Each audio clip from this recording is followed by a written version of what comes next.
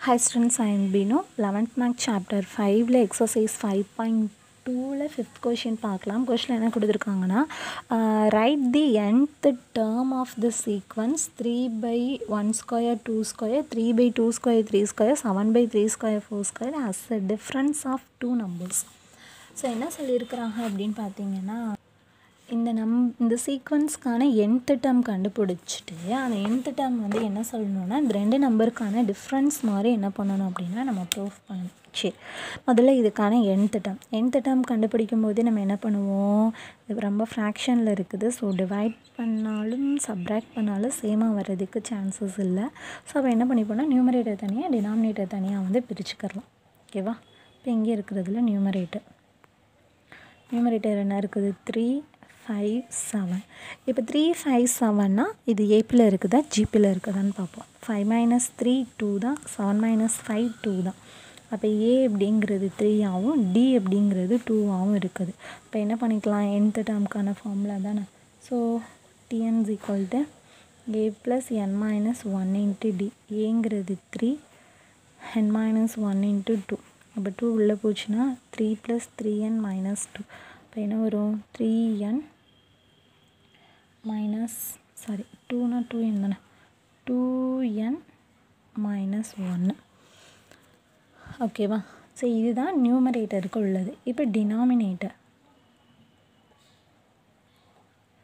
So denominator என்ன இருக்குது? One square two square two square three square three square four square so இப்போ இது நம்மளுக்கு பார்க்கும்போதே நம்ம வந்து எழுதிடலாம். One two two three three four. அப்போ இதை விட இது ஒன்று ஜாஸ்தி இருக்குது. இதை விட ஒன்று ஜாஸ்தி இருக்குது. இதை விட ஒன்று ஜாஸ்தி இருக்குது. அப்போ எப்படி எழுதலாம்? N square n plus one ஸ்கொயர்னு எழுதலாமா?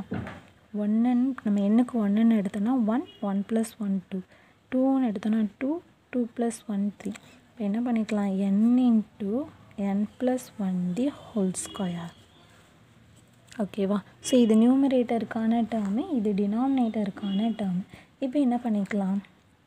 nth டேர்முக்கான சீக்வன்ஸ் கண்டுபிடிச்சிடலாம். இப்போ என்ன பண்ணுவோம்?